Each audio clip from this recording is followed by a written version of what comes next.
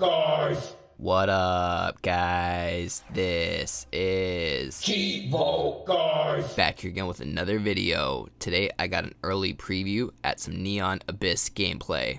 Neon Abyss is a run and gun roguelike action platformer developed by Veewo and published by Team 17. This game is going to be releasing on July 14th in just about five days. It should be releasing on Xbox, PS4, Switch, and Steam. Today, I'll actually be playing the demo on the Nintendo Switch. However, this is mostly just to give you Xbox and PlayStation players a preview at what's coming here in five days because more than likely you guys may be playing this game for achievements or trophies. Now, as mentioned before, this is a roguelike game, meaning that it has permadeath and level randomization. Now, let's dive into it. This game doesn't have any voiceovers for the text, so I'll read it to you guys. It says, My friend, the enemy of my enemy, I'm Hades. Titan Group took most of my powers and destroyed your family. I need fighters like you to put an end to the Titan's reign.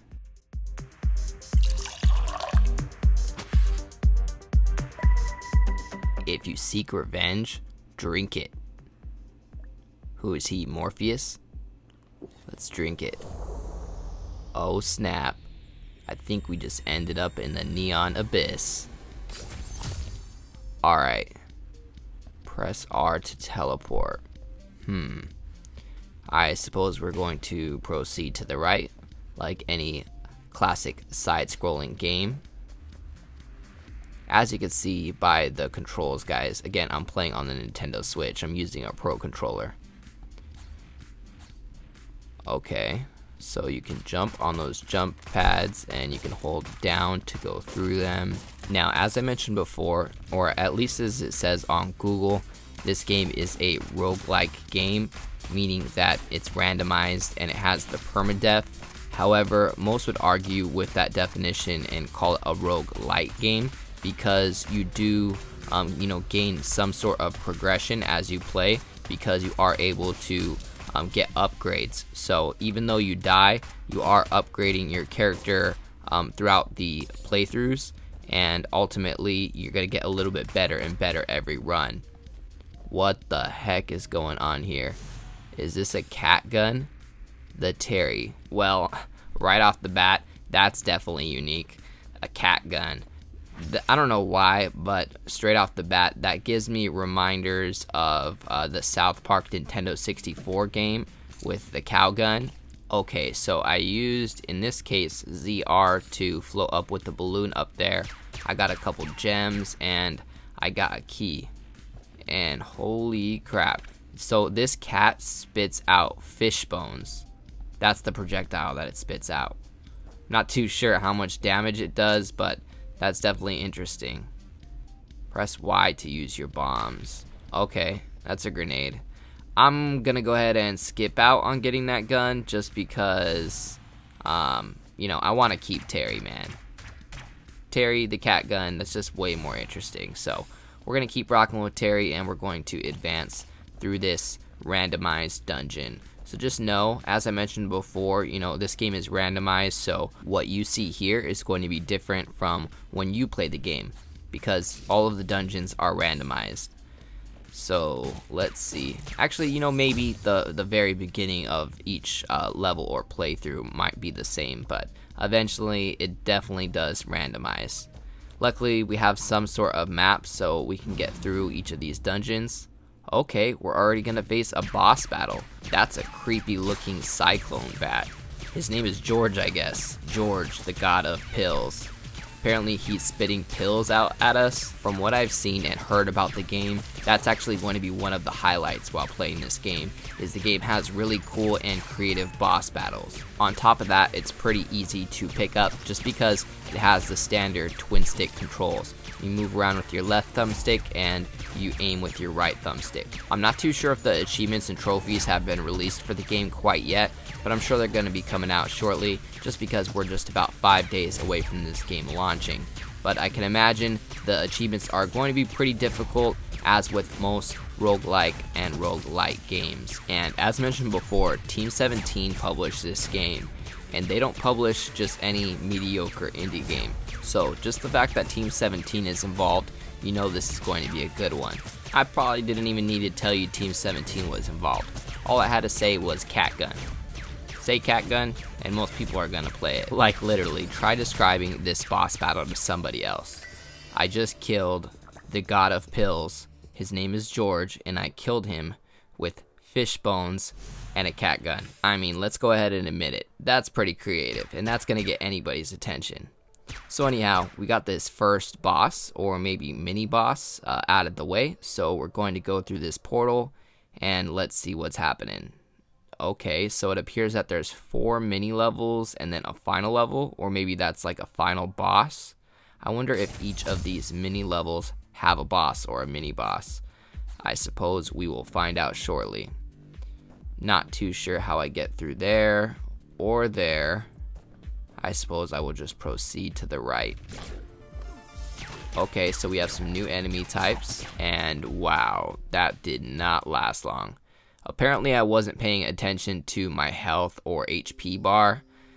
So I guess we can go ahead and see what happens when you die. So when you die, it takes you to the bar, which is your upgrade screen, and apparently all of these are locked in the demo, so I can't really experiment with any of the upgrades. However, it does let you see what they are. So just know after each run, you're able to um, use your experience or uh, gems that you earned in your last playthrough to upgrade your character. And I don't know if the bar is called Neon Abyss or what, but it appears we're at a nightclub. And the bartender is where you upgrade your character.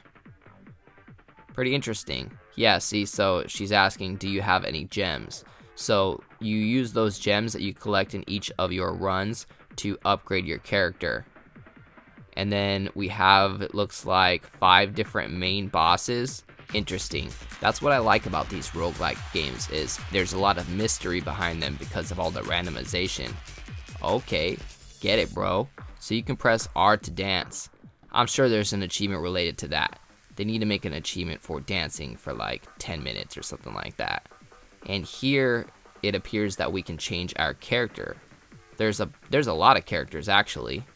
Anna, Matt, Lucas, R6, James, Ming, and Zach. But in the demo, it only lets you use the first two characters. So I'm rocking the default character. His name is Wade. It says that he's a reporter with multiple combat skills. So we're just going to keep rocking with Wade. Let's see. What does it say here? Input a seed. Every time you start a new run, you will get a unique seed, which records all of the random elements of your run, including the item drops, room configuration, etc. It's displayed at the bottom of the pause page. Very interesting the first thing that came to mind was achievements and trophies. However, there is a disclosure at the bottom in red that says this disables all achievements, trophies, and collecting the faith seeds. So, with that being said, I'm not too sure what the advantage would be to using one of those seeds. I mean, that would be cool if they let us do it for achievements. It would make the achievements and trophies a lot easier that whole process of putting in a code to get back your progress or get to where you were at before reminds me of the old school save methods from back in the Super Nintendo and Sega Genesis days. You know, to get back to a level, you would have to input a cheat code that advanced you all the way to that level so you could continue where you were at because back in the day, we didn't have no game saves. Alright, it appears that I can open this shop door with three crystals, so let's walk in here. So it looks like we have four different items for sale. I'm not too sure what that mask does, but I do not have enough coins. And this guy doesn't take gems, he takes coins. Uh, so I suppose that separates him from the ne Neon Abyss bartender. Okay, and what is over here to the left? Okay, so let's see here. I think we officially started our second run, guys. So let's go ahead and see how far we can get here in the second run. And then I'll probably go ahead and end this gameplay video. Hopefully I can get some footage of another boss battle or mini boss.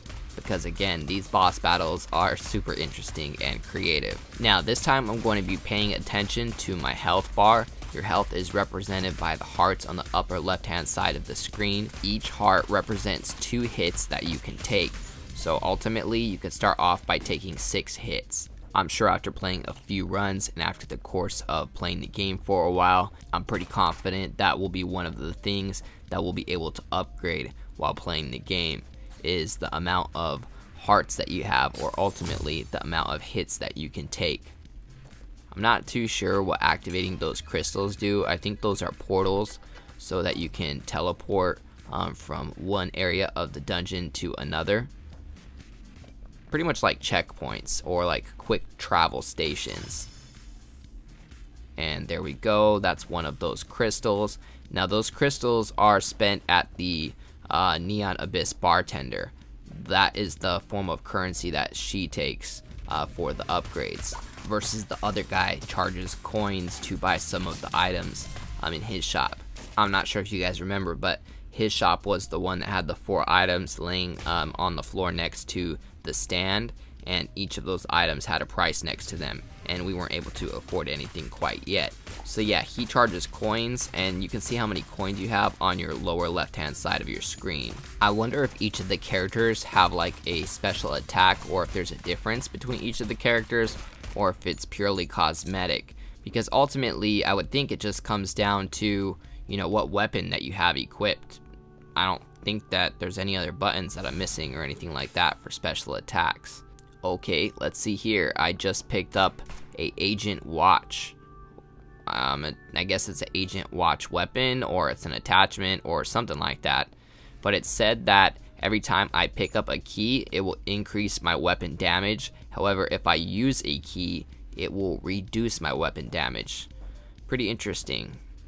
I don't think there's anything too special about this gun. Let's go ahead and proceed to the right. And we can see about clearing out these enemies. See, yeah, this gun doesn't even do that much more damage than my other gun. I want the cat gun back. Where's my homie Terry at? That's another thing that I'm going to be looking forward to in this game is all of the different creative type of weapons.